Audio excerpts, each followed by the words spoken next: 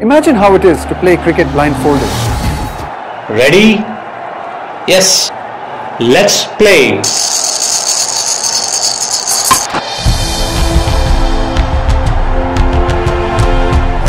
Salute to the spirit of the blind cricketers. They remind us that disability is only in the mind. Uh, firstly, I'm very excited that uh, CABI is organizing the T20 World Cup for the blind in India. And uh, it's, it's really an honor for me to be given the opportunity to be a brand ambassador for this World Cup.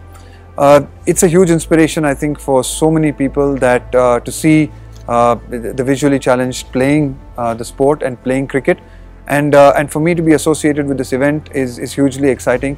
I'm looking forward to the tournament and I'm hoping that everyone will come out and support, support these cricketers who are an inspiration to all of us. I think uh, you know uh, it's fantastic that there are organizations like Samarthanam that that you know have have, have worked with CABI to ensure that so many visually impaired cricketers and blind cricketers get an opportunity uh, to play the game. It's a game that they love, and I know that you know so many uh, so many people who are visually challenged and blind they still follow the game, they still love the game, they still know the cricketers, they follow the cricketers, and for them to get an opportunity to play, I think is fantastic. And also it serves as a great, I think, an inspiration to so many people, not only people who are visually challenged. Obviously, it's an inspiration for them, but even for others that you know having difficulties and having challenges in life shouldn't stop you from doing so many things. I, I think it's it's very unfair to compare uh, compare the two. I think uh, you know uh, having tried a little bit of cricket blindfolded, I can you know uh, clearly say that uh, you know playing cricket, being visually challenged or being blind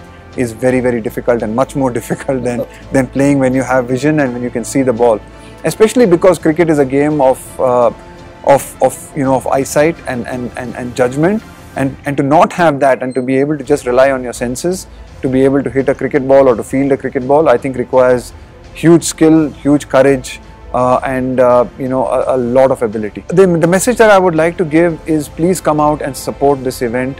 Uh, please follow the event wherever you are.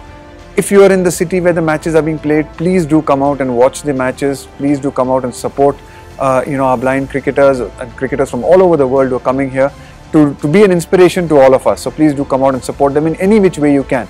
If you can do it financially, that's great. If you can do it with your presence, that is also fantastic. I support cricket for the blind. Do you?